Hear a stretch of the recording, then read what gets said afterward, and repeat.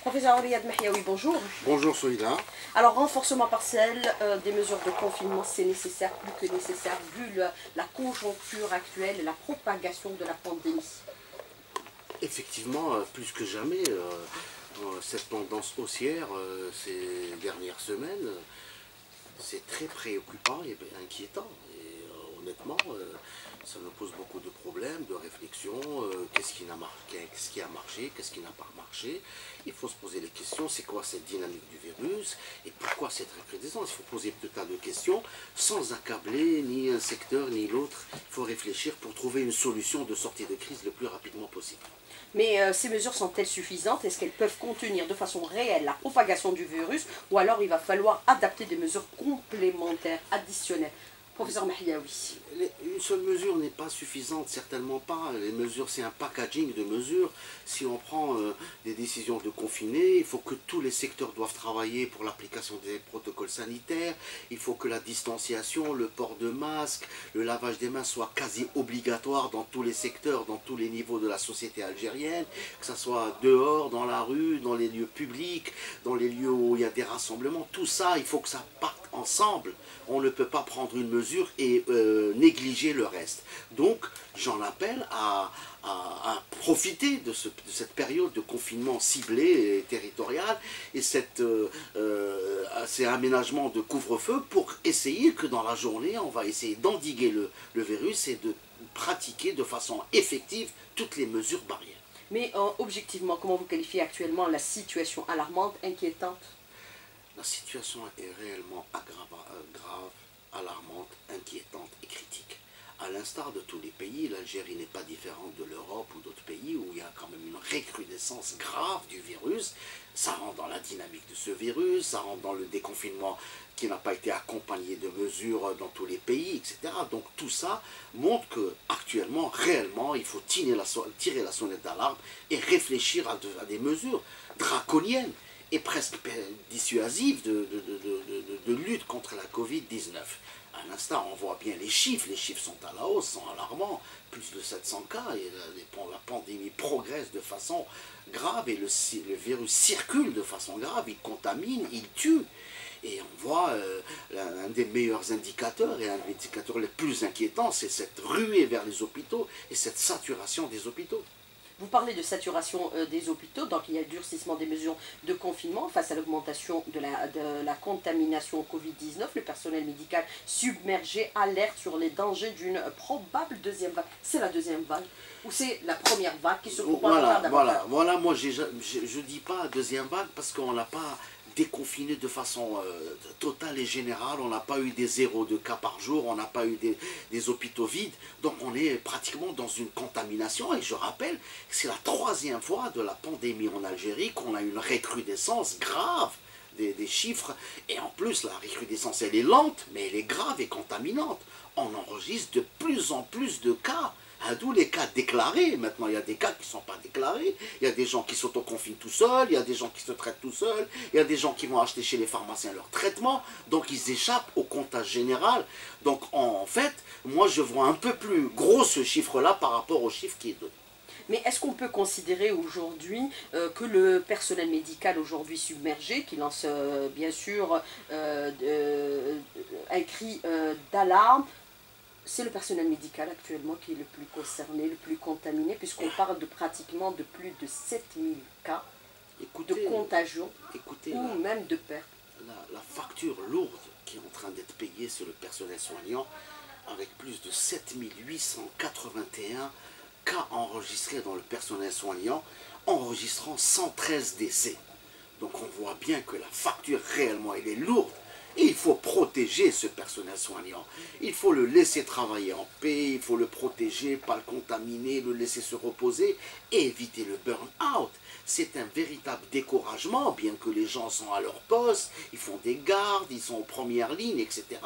Et c'est très très difficile de reprendre après une période où on a été à l'aise, où les chiffres se sont abaissés de façon euh, très confortable, les gens sont partis en congé, les gens ont pris leur, euh, récupération, et là, une deuxième, euh, une recrudescence, pour ne pas dire une deuxième vague, s'installe de façon très très lente, mais très grave, ça décourage un peu tout à chacun. Mais est-ce qu'on peut considérer que, bien sûr, parmi le personnel médical, malheureusement, on déplore aujourd'hui 113 décès? C'est le chiffre, bien sûr, du comité de suivi de la pandémie euh, du coronavirus dont vous êtes euh, membre. Vous attirez l'attention sur la nécessité de mobiliser tous les moyens nécessaires pour la prise en charge nécessaire du personnel médical, d'abord en priorité, parce qu'on a besoin des médecins pour nous soigner, et aussi des personnes contaminées. Écoutez, en période de pandémie, euh, on regarde ce qui se passe dans les pays les plus développés avec des secteurs, de santé très très puissants. Ils sont dépassés, ils sont en train de rappeler les, retraités, de rappeler les gens en vacances, euh, éviter de donner des congés, des récupérations, quel que soit le nombre, quelle que soit la quantité, quel que soit ça, demeure insuffisant devant une telle ampleur de cette pandémie, une telle ampleur. Vous imaginez que maintenant, par titre d'exemple, sur 100% de malades qui viennent en urgence, dans la majorité des cas, 80% rentrent chez eux, il n'y a que 20% qui restent à l'hôpital. Mais malheureusement, la tendance est en train de s'inverser maintenant. Les malades qui viennent à l'hôpital, c'est des malades qui doivent être hospitalisés. Mais malheureusement, c'est vraiment mal au cœur de leur dire il n'y a pas de place, y a pas, on n'a pas de quoi vous prendre en charge, etc. Et on voudrait éviter ça. On ne voudrait pas arriver à ce niveau de, réponse et de réflexion. Donc pour ça, il faudra qu'une mobilisation quasi générale, une prise de conscience de tout le monde, surtout de la population, pour éviter cette saturation. Et c'est ça le problème. Il ne faudra pas arriver à saturation il ne faut pas arriver à saturation, mais est-ce qu'on a par exemple au niveau du comité des explications sur la recrudescence vertigineuse de ce, euh, nombre de contaminations? Puisqu'à à ce rythme-là, on va dépasser la barre des 700 euh, dans quelques jours, le chiffre qu'on avait pratiquement euh, atteint au début de cette pandémie.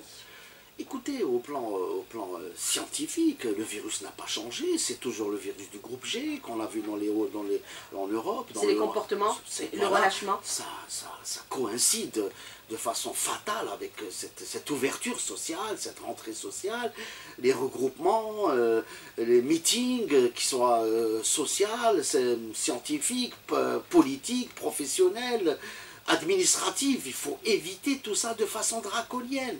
Il ne faut plus se rassembler, il faut plus se regrouper, il faut plus euh, ne pas porter de masque, il faut être rigoureux dans la vie de tous les jours, il faut que les citoyens prennent conscience que chaque citoyen doit éventuellement aider l'autre citoyen et à faire de la pédagogie pour que tout le monde puisse régler. Je ne comprends pas, est-ce qu'on se bat contre ce virus? On se bat avec ce virus parce que si je ne respecte pas mes règles barrières et si je ne respecte pas la sécurité sanitaire, cela veut dire que je donne la possibilité à ce virus de se propager. Donc je suis complice de cette propagation. Je suis désolé, c'est comme vous aidez quelqu'un à faire un crime, vous êtes complice de ce crime.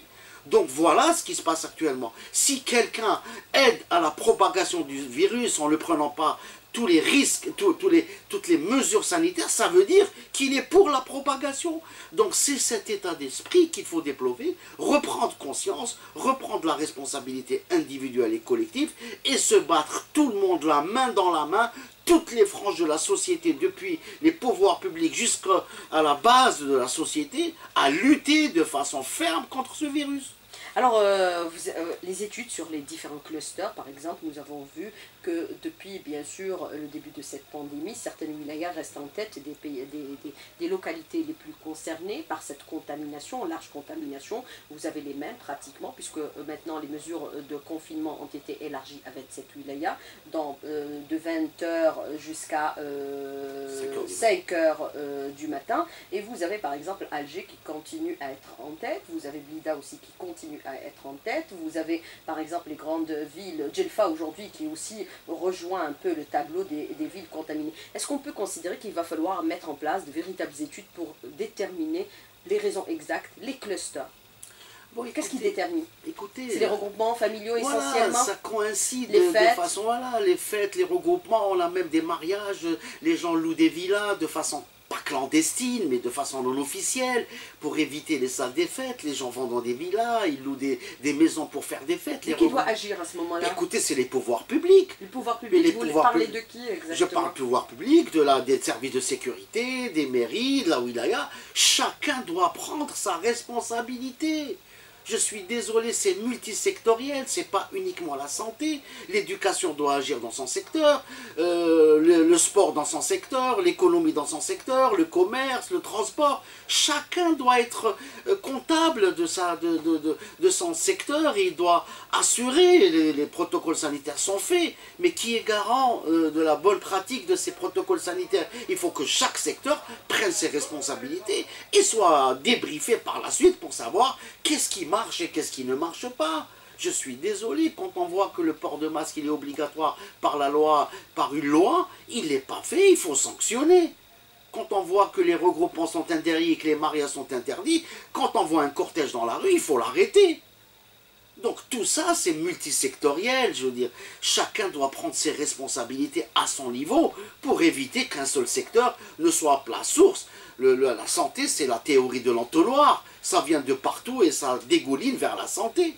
Mais ce qui est relevé aujourd'hui par les clusters, puisque vous avez euh, le professeur euh, euh qui le déclare aussi officiellement, que le plus grand des contaminations sont au milieu professionnel actuellement. C'est pour quelle raison? Eh ben, écoutez, y a une reprise normale tout, de Tout simplement, tout simplement, on était en télétravail, les gens étaient à 50% de leur capacité de travail, les gens rentraient, restaient chez eux, et je vous assure que même les gens qui restent chez eux, chez eux peut-être qu'ils travaillent plus que les gens qui sont dans leur administration. Et ça, ça coïncide tout ça avec cette reprise, cette reprise, ce déconfinement qu'il faut encadrer par toutes les mesures sanitaires et, toutes les mesures barrières, même si on se... Donc c'est ça qui fait euh, en fait euh, qu'il y a un regroupement. Et en, plus, euh, c'est normal que quand on se regroupe, quand on se réunit, etc., on est plus exposé à augmenter la contamination, à se contaminer soi-même. Il faut éviter les réunions et les regroupements et favoriser le télétravail tel que c'est mentionné dans le communiqué du Premier ministère de jeudi dernier. Absolument, nous on, supporte ça et on est d'accord avec ça. Et c'est vous qui avez préconisé des Absolument, on a discuté, effectivement, on a discuté, la pétition a été prise et c'est une très très bonne décision qu'on applaudit et qui j'espère va nous permettre de voir dans 15 jours ce qui va se passer. C'est pour éviter éventuellement la propagation et l'aggravation de la situation qui va être comptabilisée dans 15 jours. Alors euh, hier, bien sûr, nous avons euh, enregistré l'équivalent de 670 cas de contamination et avec, euh, bien sûr, malheureusement, on le déplore, 12 décès. Est-ce qu'on peut considérer que dans les 24 heures, ces chiffres vont encore augmenter davantage? Écoutez, au vu de la dynamique du virus ces derniers jours, on enregistre un peu plus de 100 cas par jour. Euh, les décès restent stables, c'est un bon indicateur. Mais ce qui nous inquiète, c'est la saturation des hôpitaux. On a plus de 60, 63 ou 64 personnes en réanimation soins intensifs. Ça nous inquiète beaucoup. Parce que c'est un truc inextensible et on arrive à 100% de saturation des services de réanimation où les malades graves, c'est inévitable, il faut les mettre en réa. Malheureusement, on arrive à saturation. On en a les capacités où ça pourrait poser des problèmes et des problèmes réels, puisque vous-même, vous êtes professeur en réanimation. Ça pourrait poser des problèmes. Ça pourrait poser d'énormes problèmes si on n'arrive pas à, contrecarrer cette augmentation et à endiguer cette, euh, cette pandémie. On va être saturé. Alors, euh, autre question que je voudrais aborder avec vous, bien sûr, par rapport aux mesures qui ont été prises par le gouvernement, il y a aujourd'hui, et le Premier ministère, il y a bien sûr la rentrée universitaire et la rentrée de la formation professionnelle euh, différée au 15 décembre euh, prochain. Il y a aussi, vous dites que chaque secteur doit assumer sa responsabilité, l'éducation nationale doit également assumer sa responsabilité. La fermeture des écoles pourrait être envisagée Effectivement, bon, pour les écoles, on a discuté en long et en large, on a mis les protocoles sanitaires à l'intérieur des écoles, à l'entrée des écoles, bien que ça soit pas bien appliqué à l'extérieur, parce qu'on voit les parents s'agglutiner à l'entrée, à la sortie des écoles, les gens se rassemblent là-bas pour emmener les enfants, ça c'est un problème particulier qu'il faudra régler localement aux alentours des écoles et même des collèges et des lycées. Mais est-ce qu'il faut rendre obligatoire le port du masque pour les enfants? À l'étranger, de plus de 6 ans, ils portent le masque. Mais c'est dicté dans nos protocoles sanitaires. mais ils ne le portent pas. On ne le porte pas, des enfants mais il y va de la responsabilité. On dit même que les enfants, quand ils rentrent chez eux, ils doivent porter le masque parce qu'ils sont contaminants s'ils ont des grands-pères, des grands-mères. On a vu dans, nos, dans nos traditions, c'est les grands-pères et les grands-mères qui vont chercher les enfants à l'école quand les parents sont au boulot. Et il faudra euh, continuer à protéger ces personnes vulnérables par le biais des ports de masque chez les enfants. Donc les, les protocoles sont très très clairs. Il suffit juste d'être discipliné et de les appliquer. Je ne me bats pas contre un protocole qui protège ma vie. Oh, il ne faut pas être suicidaire. Il faut quand même être raisonnable, porter le masque, écouter ce qu'on vous dit, écouter les protocoles, appliquez-les, et puis on s'en sort rapidement. C'est la seule solution. Alors, euh, professeur euh, Riyad Mahiaoui, moi je voudrais revenir un peu sur certains chiffres, certaines indications qui sont communiquées au quotidien par le comité, euh, bien sûr, de suivi de cette pandémie installé au niveau du ministère de la Santé. Hier, on parlait de l'équivalent de 670 cas de contamination, 254, 254 guérisons et 12 décès. Malheureusement, les décès sont en hausse depuis quelques jours. Ce qu'on relève aussi, c'est qu'Alger est en tête avec, bien sûr, 106 cas de contamination. Béjaïa 49, Tiouzi Ouzou, c'est 62, c'est des chiffres aussi qui sont en hausse au niveau de ces localités. Mais certains considèrent que ces chiffres ne, sont, ne reflètent pas la réalité, puisque pour ces chiffres, on ne tient compte que des tests PCR. C'est pas tout le monde qui peut accéder aujourd'hui aux tests PCR. Il y a ceux qui passent par le scanner qui déterminent qu'il y a effectivement cas de contamination, et vous avez les tests de sérologie. Est-ce qu'il faut les prendre en considération Puisque vous dites, les hôpitaux sont saturés. Mais quand on voit euh, le chiffre, on se dit, bon, on peut quand même les prendre en charge. Bon, écoutez, honnêtement, j'ai répondu plusieurs fois à ces questions qui remettent en, question les chiffres, etc. Et, on arrive à un moment où ça devient presque de la spéculation. On, on regarde, c'est pas un langage de chiffres, je suis désolé de vous le dire. Je ne compte pas, c'est pas un compte des comptes macabres tous les jours. On sait que la situation est catastrophique. On sait que la situation arrive à pousser les hôpitaux et à, ça coince quelque part dans le système de santé par le biais de la saturation des hôpitaux. Euh, on sait que les malades euh, asymptomatiques, contacts, ne font pas la PCR. On le fait la PCR qu'aux malades symptomatiques est quelquefois grave. On sait que le scanner est un, point pour, à défaut de PCR, on fait le scanner qui donne des images, qui est évocateur de, de, Tout ça, on le sait, tout ça, on sait que les choses, euh, si on comptabilise un peu tout ça, on arrivera à des chiffres plus importants. Mais, mais c'est surtout prendre conscience que le virus circule de façon active, il est contaminant et, et il tue. C'est ça le plus important dans tout ça. Maintenant, 600, 700, 800, 900 par jour, le problème ne se pose pas au, décompte, il se pose sur la réalité du terrain. On voit que actuellement la pression est tellement importante qu'il faudra prendre des mesures en amont de la contamination. Euh, revenons aux tests sérologiques. Les tests sérologiques peuvent vous dire si vous avez fabriqué des anticorps contre le virus, mais c'est a posteriori. On peut vous dire que vous avez fait le virus et, que vous êtes à la deuxième semaine ou à troisième semaine, etc. Mais le test diagnostique, c'est des PCR et l'argument clinique, c'est ça le plus important mais le scanner peut déterminer s'il y a des lésions ou pas. Effectivement, c'est souvent le cas parce qu'on a tous les symptômes, on perd l'odorat, on perd le goût, on a de la fièvre, on a de la toux et on a le scanner. Effectivement, le scanner peut évaluer l'étendue des lésions, mais il ne regarde pas le virus. Mais si on a par exemple un faisceau d'arguments, on a l'anosmie, on a la gueusie, on a la fièvre et surtout la sténie qui est quasi constante et la toux, si on fait un scanner, on va trouver le diagnostic est posé, je veux dire. Et on commence le traitement, ou le confinement, ou l'isolement, etc. Mais le plus important dans tout ça, celui-là, c'est que les gens prennent conscience qu'on ne sait pas une mesure euh, pour lutter contre la Covid-19 ou faire un diagnostic. C'est surtout, surtout la prévention, le lavage des mains, euh, la, distanciation et le port de masque. C'est ça le plus important dans tout ça. Donc, oui, allez-y. Donc voilà, donc si on agit en amont de la, de la, pandémie, on essaie d'endiguer, d'empêcher la survenue, ça sera meilleur que de faire ce décompte macabre et faire de la spéculation et remettre en question les chiffres, etc. Alors c'est une maladie à déclaration obligatoire, puisque c'est une pandémie qui touche toute l'humanité à travers tous les pays du monde, et nous avons vu un peu l'étendue de cette contamination au travers certains pays où les gens sont en train de mourir même dans les rues. Mais vous avez ce phénomène qui est nouveau, ceux qui ne déclarent pas leur maladie, ils sont contaminés ils continuent à mener une vie euh, normale parce qu'ils sont asymptomatiques. Comment réagir? Comment faire? Qu'est-ce qu'il faudrait? Qui devrait intervenir? Est-ce qu'il y a un numéro, par exemple Vous pourrez déclarer cette personne? Qu'est-ce qu'il faudrait? C'est ça le problème. Parce que c'est criminel. Non, c'est ça la responsabilité individuelle. On le dit, on le redit. Quand on est malade, quand nos enfants sont, les sont malades, on les garde à la maison. Quand on a de la fièvre et de la toux, on se déclare et on dit j'ai de la fièvre et la toux. Ça peut être un COVID, un COVID une COVID, une maladie Covid-19, ça peut être une grippe, ça peut être une bronchite, ça peut être une angine.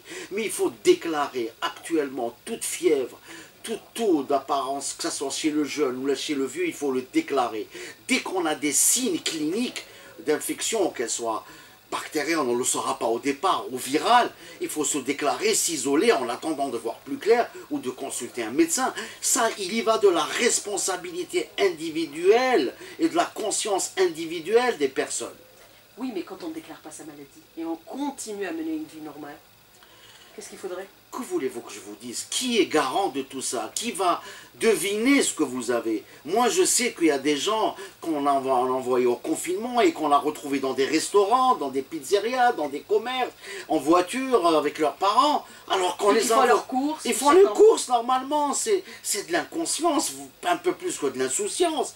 Mais, c'est clair que si je jette quelqu'un d'infecté dans un milieu, dans un magasin, un supermarché ou un restaurant, c'est clair que si les conditions s'y prêtent, il n'y a pas d'aération, il n'y a pas de distension, et les gens ne portent pas de masque, il va infecter les gens. Et quand on est euh, un sujet contact, est-ce qu'il faut automatiquement s'autoconfiner? Bien sûr qu'il faut s'autoconfiner. C'est la mesure. Le risque zéro n'existe pas. Le risque zéro. Et l'autoconfinement, il faut l'expliquer aux gens, parce que on dit auto-confiné, confinez-vous chez vous, mais comment les gens vont se confiner dans un F3 avec la famille, euh, on n'a pas de chambre individuelle, etc. C'est difficile, il faudra expliquer, euh, même les associations, tout ce qui est euh, éducation sanitaire, les médecins, les spots publicitaires, comment il faut faire pour se confiner? Est-ce qu'il faut porter le masque à la maison, utiliser une chambre individuelle, manger seul? Mais si on se réfère à l'OMS, on va devoir vivre avec le masque toute la vie, le porter même à la maison honnêtement, honnêtement, euh, on doit apprendre à vivre avec le virus. On a compris que le virus sera là encore plusieurs, plusieurs mois, voire plus. Donc on, va, on doit apprendre avec, avec le virus. Parce qu'on peut pas. Parce que le seul traitement de ce virus, c'est désertifier les villes, sortir. Personne ne sort chez lui, tout le monde à la maison. Que les villes fantômes, personne, le virus ne trouvera pas où s'accrocher. Mais ça, c'est pas possible. Il faut vivre, il faut travailler, il faut manger, il faut gagner son argent, il faut se déplacer, aller à, la pharmacie, faire ses courses. Donc, euh, partant de là, il faudra que les gens apprennent à vivre alors qu'on va prendre à vivre, c'est euh, porter le masque, se laver les mains, distanciation, etc., etc., etc. Qu'on rabâche, qu'on rabâche, qu'on rabâche. Même si je suis, je peux, je me déplace. Si j'applique de façon stricte ces mesures, je pense que je vais éviter la contamination. Alors, euh, les transports en commun, il faut être extrêmement vigilant à ce niveau-là aussi par rapport à la contamination, puisqu'on a vu maintenant, depuis quelques jours, il y a un laisser-aller. À un moment donné, il y avait des mesures strictes qui étaient appliquées. Aujourd'hui, c'est...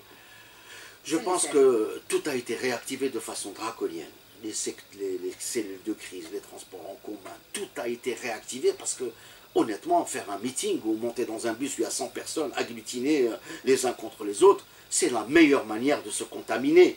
Donc on le voit, même le transport interurbain, il, est fait de façon clandestine. On peut venir depuis d'Alger ou d'Alger à Sétif, personne qui va vous en empêcher. Mais là, tout a été réactivé de façon euh, très très très importante et de façon très très stricte euh, pour éviter tout ça.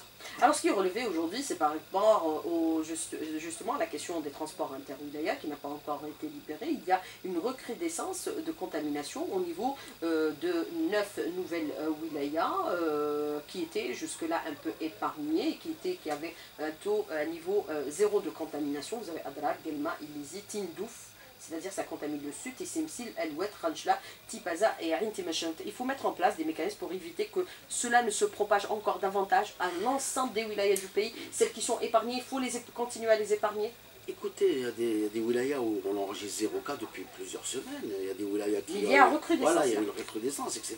Au sud. Et, et tout le monde sait, et tout le monde sait que la- le meilleur moyen d'augmenter la contamination, c'est le transport. Et on sait que l'économie est basée sur le transport. Et beaucoup, les gens se déplacent. Ils ont fermé les, les, les- trucs de marché de voitures. Les marchés hebdomadaires sont encore plus, plus contrôlés maintenant. Donc pour éviter tout ça, il faut arrêter les transports. Parce que le virus ne se déplace pas seul. Il faut le déplacer dans des voitures, dans des cars, dans des bus, etc. Donc pour protéger ces wilayas, il faut les isoler par le biais de, euh, ne pas autoriser le transport interwilaya. Mais est-ce que les walis peuvent prendre des mesures, euh, c'est-à-dire complémentaires, qui exigent la situation sanitaire au niveau de chaque wilaya? Effectivement, les Walis ont été ins- instruits pour prendre la responsabilité d'ordonner la fermeture ou du confinement dans leur wilaya respectif en collaboration avec tous les secteurs euh, sanitaires, les cellules de crise, les cellules Covid, etc. Donc ils ont la latitude de prendre des décisions qui seront salvateurs pour leur wilaya. Alors le transport, euh, bien sûr, euh, urbain, euh, public ou privé pendant les week-ends suspendu également, c'est important. C'est pour éviter un peu les regroupements Ouais. familiaux. Pour éviter un peu les regroupements familiaux et pour éviter de dire aux gens ne vous déplace pas beaucoup en en cas de nécessité absolue. Mais on peut prendre sa voiture. Ouais, Non, mais ça a été édicté, je pense, ça a été édicté depuis le mois de juillet, le 14 juillet, quand il y a la recrudescence de façon importante, on est arrivé à 800 cas. On revient à la même configuration, malheureusement, c'est trois mois après. Alors, euh, des questions des auditeurs qui sont euh, très très nombreux, euh, nombreux ce matin. Je suis médecin et je travaille au sud. Comment faire pour me déplacer, sachant qu'on est nombreux aujourd'hui dans ce cas de situation, parce qu'aussi on va léser les médecins et le personnel médical. Effectivement, on en a parlé, on a même euh, un membre du comité scientifique, euh, Dr Hamour, qui est à Tamanrasset, il nous a évoqué le problème du transport. Pour venir à Tamanrasset, il faut 30 heures de bus. 30 heures de bus. Donc vous imaginez les médecins qui remontent ou les autres qui remontent vers les, les lieux de résidence, ça va être très difficile. Peut-être que, les pouvoirs publics pourraient éventuellement jeter un œil là-dessus et se favoriser éventuellement, comme fait Sonatrach avec les, les trucs du Sud, de améliorer un peu le- la rentrée de ces médecins-là dans leur lieu de résidence. Alors pourquoi le pic de contamination est si soudain? Est-ce qu'on peut lier ça à certaines activités aussi, il faut le dire et parler franchement aux Algériens pendant par exemple la période électorale où il y a eu des meetings, de grands, de méga meetings de partis politiques qui ont été organisés à travers le territoire national? Est-ce que c'était une erreur? Effectivement, euh, tout le monde a regardé, tout le monde voit les médias, tout le monde voit la télévision, Les réseaux sociaux. chaînes, les réseaux sociaux. On a vu des, des salles archipleines où, où les même les, les gens d'un certain âge, euh, agglutinés côte à côte, quelquefois portant le masque, quelquefois ne portant pas le masque. On a vu tout ça et tout ça s'additionne. Encore une fois, je vous ai dit tout à l'heure, toute une mesure seule ne peut absolument rien faire. Tout ce- cette addition, cette addition de non-mesures sanitaires provoque bien entendu la. Alors euh, tout le monde pose cette question, bien sûr la réouverture un peu euh, des frontières, comme aériennes, maritimes ou terrestres. Vous avez aussi cette question de l'auditeur qui vous dit aujourd'hui pourquoi nous pourrions-nous pas remettre en place les vols domestiques à l'intérieur du pays avec le respect strict des règles sanitaires? Ça pourrait être mieux que les bus. On pourrait le faire. Effectivement, il y a eu, euh, il y a Un une débat ré- il y a eu un débat, une réflexion il y a un mois et demi ou deux mois où on a même euh, lu et annoncé qu'il y aurait un débat concernant les lignes intérieures. Et, vu la situation actuelle et cette recrudescence, je pense que tout est gelé par rapport à la à cette recrudescence qui est inquiétante et honnêtement c'est très très difficile de penser maintenant à une réouverture ou à un déconfinement. Il faut que tout ça soit encadré de façon stricte par les règles sanitaires. Est-ce qu'on peut considérer par rapport aux mesures que vous avez bien sûr, euh, euh, c'est-à-dire euh, soumis au gouvernement pour leur adoption au niveau du Premier ministère, puisque après concertation avec le comité, ces décisions ont été prises, est-ce qu'on peut considérer que vous avez pris aussi certaines euh, ces mesures pour ne pas aussi pénaliser la vie économique et sociale des citoyens? Comme Vous je avez pris en considération tous ces aspects aujourd'hui Comme qui je sont vous l'ai importants? dit auparavant, il y a des Algériens qui gagnent leur vie en travaillant à la journée. Mais ils peuvent perdre leur vie aussi s'ils sont contaminés. Voilà, mais est-ce que, la vie, est-ce que la vie permet d'être suicidaire et de mettre sa vie en péril Euh, On est dans une société un peu euh, solide, de solidarité, on est dans un pays musulman, euh, tous les Algériens et les Algériennes peuvent vivre normalement, on vit en, syn- en synchronisation avec nous-mêmes, on s'entraide, il y a l'action sociale, etc. Mais mettre sa vie en danger, vraiment, ça vaut pas le coup.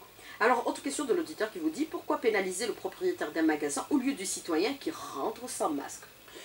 C'est la responsabilité du magasin lui-même. Mais il y a beaucoup de magasins qui empêchent les gens. Il y a d'autres qui n'empêchent pas. Pourquoi ne pas prendre le bon exemple? Moi, si j'avais un magasin, je vous assure que personne ne rentrera sans masque et sans gel. Parce qu'il y va de mon commerce et de mon, mon travail et de l'argent que je gagne pour nourrir mes enfants. Donc il faut prendre conscience que la responsabilité est chez le citoyen responsable de tel ou tel secteur. Je suis désolé de le dire, mais il faut que chacun prenne ses responsabilités. Alors vous avez cette question de l'auditeur qui vous dit « Madame, je vous informe que le transport fonctionne la nuit entre les wilayas sans s'arrêter dans les stations, les gares routières, et c'est toutes les destinations qui sont concernées, Ouelgla, Batna, Sétif, etc. Est-ce qu'on peut considérer qu'on est face à une situation, par exemple, où les gens un peu trichent? Mais ils ne respectent pas les mesures. Il y a de la fraude, mais ça, c'est au pouvoir public d'arrêter ça. Il y a des barrages partout, il y a des services de sécurité. Il doit prendre en considération tout ça pour essayer d'arrêter euh, cette, triche. Alors, euh, autre question de l'auditeur qui vous dit, euh, aujourd'hui par exemple, les parents d'élèves sont parfois inquiets par rapport aux mesures euh, qui sont mises en place au niveau de certains établissements. Nous avons vu qu'il y a eu quelques petits foyers de contamination au niveau de certains établissements scolaires où il a été, bien sûr, les autorités ont recouru à leur fermeture, rendre obligatoire le port de la bavette ou le masque pour les enfants de plus de 6 ans. Est-ce que ça doit être obligatoire? Vous dites qu'il y a un protocole. On parle de rendre obligatoire. Je pense que les protocoles tels qu'elles sont, que, c'est dicté, que c'est précisé euh, au plus petit détail, doivent être appliqués à la lettre. Et le secteur de l'éducation, il est garant de l'application de ce secteur, de, ce, de ces protocoles sur les lieux de travail.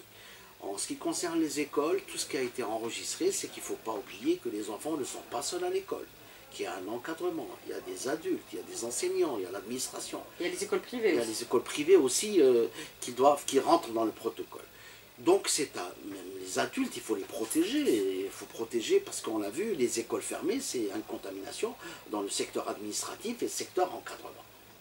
Est-ce qu'il faut sévir encore davantage à l'égard des contrevenants, de ceux qui ne respectent pas les mesures de distanciation et qui ne, portent pas euh, le masque? On l'a vu, on le voit partout et tous les jours, au niveau des marchés, au niveau des grandes surfaces, au niveau de nos rues, au niveau par exemple euh, de certains lieux professionnels. Pourquoi ne pas aller euh, sur de sévères sanctions de citoyens qui ne mettent pas la bavette ou le masque? 10 000, 20 000 dinars ou plus parce qu'ils mettent en danger la vie d'autrui absolument parfaitement et je rejoins l'avis de cet auditeur. Il faut sévir, sévir, sévir. Alors, euh, aujourd'hui, par exemple, euh, est-ce qu'il faut se dire qu'on va devoir vivre un peu avec euh, ce virus, on va devoir nous adapter? Est-ce qu'il faut aller vers ce qu'on appelle l'immunité collective? Est-ce qu'on est dans cet esprit aujourd'hui? Certains vous disent, je préfère être contaminé et ça y est, je suis un peu libéré effectivement, cette théorie de l'immunité collective, telle qu'elle a été appliquée dans pas mal de pays, tout le monde revient sur cette immunité collective qui a quand même un délai.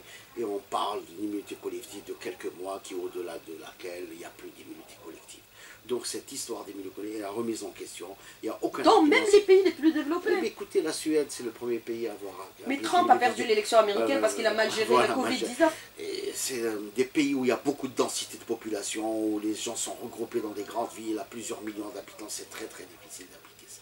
Alors, euh, autre question de l'auditeur qui vous dit aujourd'hui, avec bien sûr l'arrivée du froid, bientôt, on est en saison hivernale, avec la grippe saisonnière, les, choses risquent de se compliquer encore davantage, parce qu'il y a des similitudes euh, pratiquement euh, euh, des signes. Hein. Effectivement, l'information scientifique qui a été publiée ces quelques jours, c'est que la chute de la température, les de température augmentent la contamination des virus, notamment les virus respiratoires et même le Covid-19. Donc euh, faire très très attention à cette période de recrudescence, de froid, du chute de température bien entendu. Et les deux, les deux, les deux euh, virus vont se télescoper probablement euh, à, l'entrée de l'hiver, l'automne-hiver ça va se compliquer, les choses vont se compliquer encore davantage. J'espère que non, on est inquiet, mais j'espère que toutes les mesures ont été réactivées, les mesures prises de façon draconienne au 14 juillet, lors de la recrudescence, lors des 800 cas, ont été réactivées, tous les comités. Je pense que ça va aller, mais restons quand même très prudents. Mais la vaccination contre la grippe saisonnière, est-ce qu'elle protège? Elle protège contre la grippe saisonnière, mais pas contre le Covid. Elle a les- Il y a pas le quadrivalent le Covid. qui a les quatre virus qui protègent contre la grippe saisonnière, mais pas contre la Covid-19. Les cas de rechute, une fois contaminés, Il a, été, aujourd'hui. il a été publié, il s'est avéré qu'au-delà, c'est pour ça qu'on ne peut pas parler d'immunité collective, qu'au bout d'un certain temps, on peut se réinfecter euh, par le virus. il va falloir attendre bien sûr euh, le vaccin, qu'il soit découvert aujourd'hui. Euh, Est-ce qu'on peut considérer euh, que la crise va durer encore davantage? Elle va durer, elle durera encore davantage. Le vaccin, c'est pas pour demain la veille, bien que l'OMS a déclaré qu'au juin, au mois de juin, avril, mai, juin, Ils avaient dit déjà en janvier en janvier 2021. déjà, euh, ça y va un peu, mais euh, le vaccin, c'est pas pour demain la veille. Alors, euh, autre question que je voudrais vous poser, c'est, qui revient beaucoup, la réouverture des frontières aujourd'hui, c'est imprudent. Peu- Il faudrait le décaler. Je pense qu'il faut geler cette, cette, cette, discussion et la reporter à plus tard. La reprise du championnat national, est-ce qu'il faut le Bah, reprendre écoutez, ou pas le reprendre? Qu'est-ce qu'il euh, faudrait? Bah, la, décision Avec a été, maintenant la la- décision a été prise de le reprendre, mais on voit le nombre de contaminations. Je crois qu'aujourd'hui, j'ai lu que dans un club, il y a 12 contaminés hein, sportifs, euh, il y a 12 contaminés. Donc euh, c'est encore plus, plus rigoureux. Il faut des PCR, des tests sérologiques d'encadrement, etc. Et surtout, surtout, pas démarrer un championnat pour l'arrêter une semaine après à cause des contaminations. Mais votre avis, en tant que membre du comité Très vigilant. faut reprendre, mais encadré par des mesures sanitaires très strictes.